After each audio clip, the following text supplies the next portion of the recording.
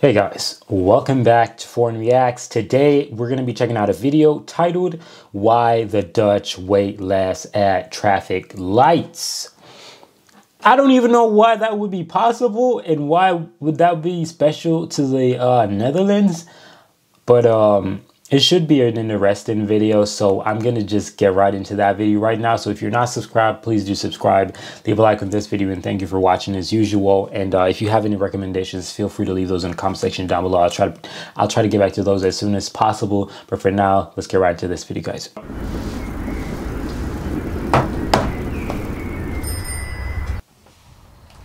When I'm traveling somewhere, I hate traffic lights, and I go out of my way to find routes that avoid them. But for some reason, I still find them. I got scared right now. I, I, I thought, I thought, I thought we was going.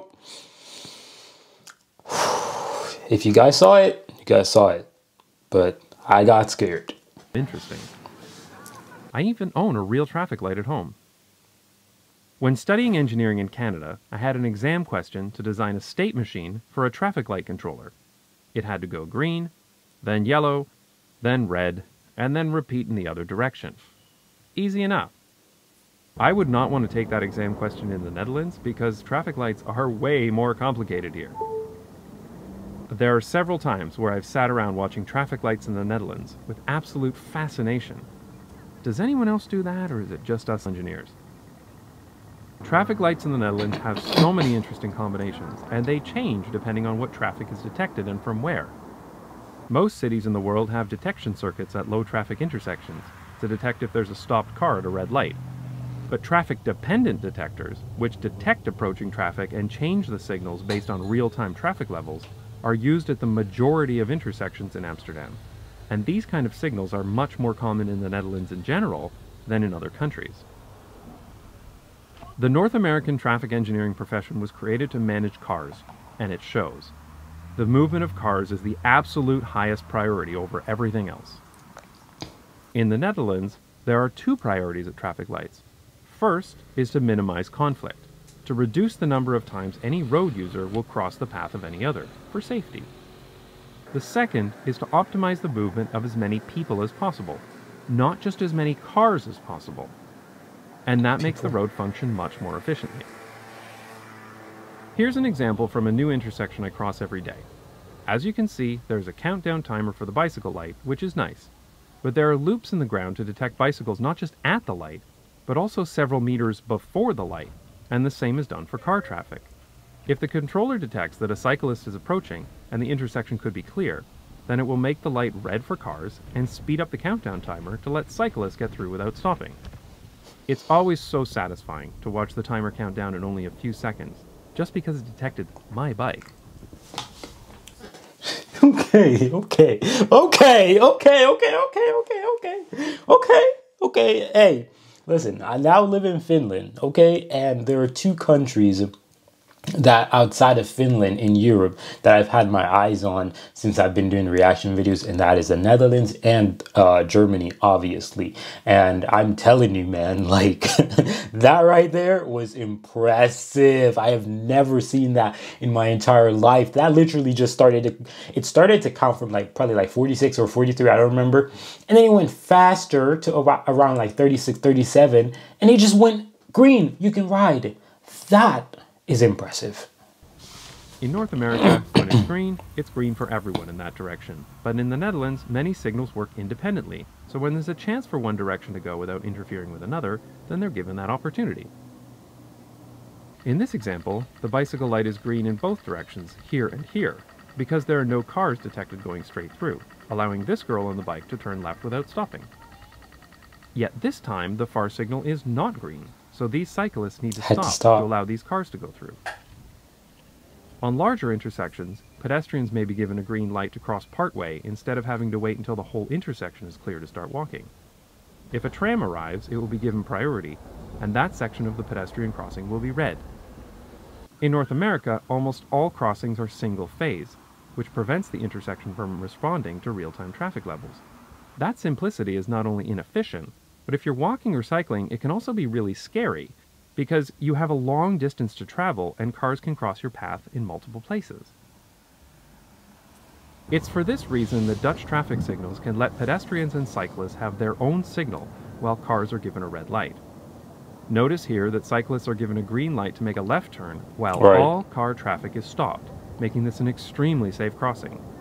Pedestrians are also allowed to cross here, in the bottom left, because they do not cross paths with those left turning cyclists. This is an interesting circumstance where cyclists are given a green in two directions at once. This results in the cyclist on the left needing to wait briefly here, but it allows the cyclist to get through in one light cycle. I didn't see this happen in any other light cycle, so the system must have detected a buildup of cyclists and optimized for it. I also really appreciate that there are no right turns on a red light for cars here, which is good because this is a ridiculously pedestrian unfriendly rule. A US study found that allowing cars to turn right on red resulted in a 69% increase in crashes with pedestrians and cyclists. The Netherlands tightly controls when right turns can be made, which not only significantly increases the safety of people outside of cars, but also ensures that the path is clear for right turning cars. It allows more advanced light combinations as well. Watch how this tram turns left, while these cars in the foreground can turn right, while no pedestrians or cyclists are allowed to cross in their way. Right. With no right turn on red, pedestrians can be given a head start. Notice how these people are halfway through the intersection before the bicycles and cars are allowed to go. These leading pedestrian signals are still quite rare in North America, but they significantly increase pedestrian safety from right turning cars. One Chicago study found a 13% decrease in collisions with people walking when leading pedestrian signals were used. I find I like the the fact that this video is flooded with facts. I can't lie to you. Like I love to do reactions and it's just flooded with facts. And this video is factual. Like good gosh. that intersections here are very pedestrian friendly in general. Watch these people cross.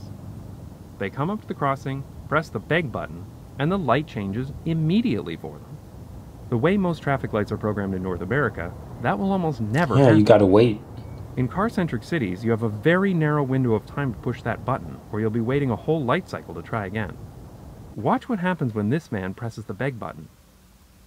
The light was red, but the pedestrian signal doesn't come on because it was pressed too late. The light turns green for cars, of course, but there's no walk signal. So these And that, that lady could have gotten smacked. She she not she not even realized that that Rav Rav Four, it's a Toy- Toyota Rav Four, was going by. Like it's crazy like that, bro. It- it- it- I'm sorry, but when it comes to America and pedestrian, look how skinny that sidewalk is. Like I don't know if it's the entire Europe, but in Finland the sidewalk is so wide. Like you can drive a car on that thing, bro. Like for real, comfortably. people are technically crossing illegally.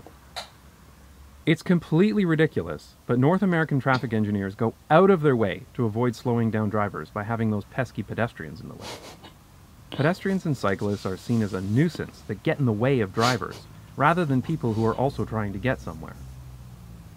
What's worse is that buses and streetcars are almost always stuck in traffic because traffic engineers and politicians don't want to take away any space from cars to make a dedicated transit lane, even though it would ultimately speed up car traffic. Thankfully, in the Netherlands, public transportation has the highest priority and almost always gets a green light. It doesn't matter what else is happening at this intersection, this tram is going through right now.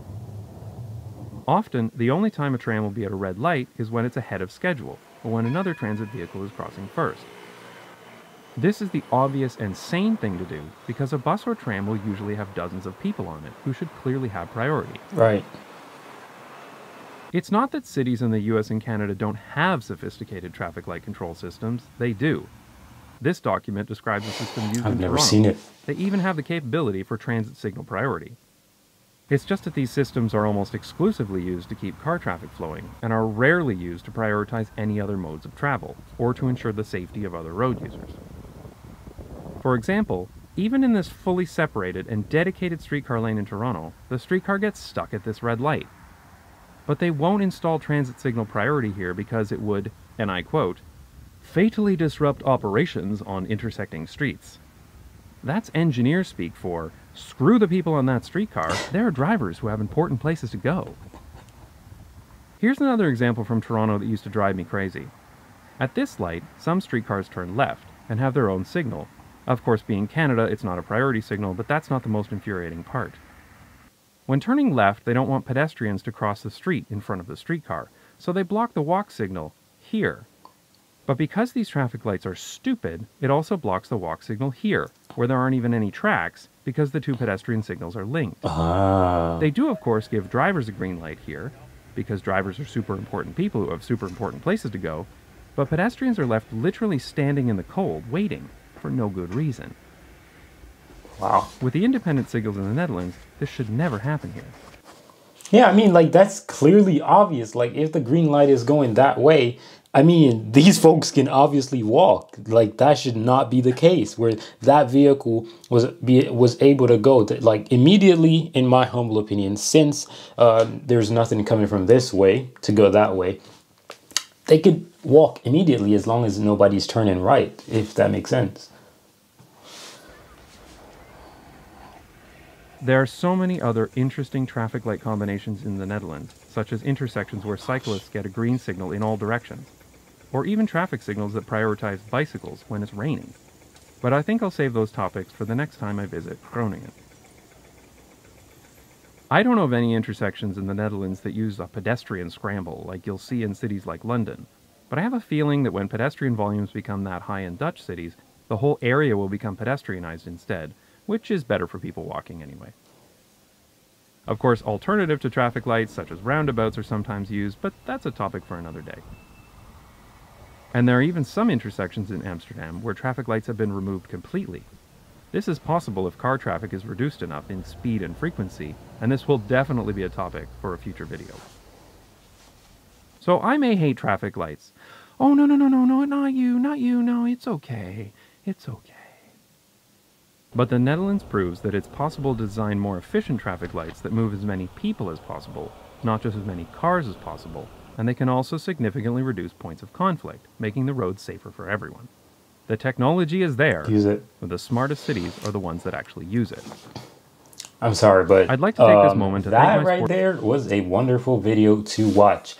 I don't know about you guys, but I totally enjoyed it, and I um, I can't lie that that was something I never knew actually existed. I I had no idea. I I was most amazed about the um, the traffic light for the pedestrians or cyclists, I should say, um, cyclists pedestrians where it just count down super fast and it, it, it, it actually has some sensors to predict like what that's some first world ass stuff right there. Either ways man i gotta get up out of here guys. So uh thank you for watching as usual. And uh like i said if you have any suggestions feel free to leave those in the comment section down below. I'm out of here guys. Peace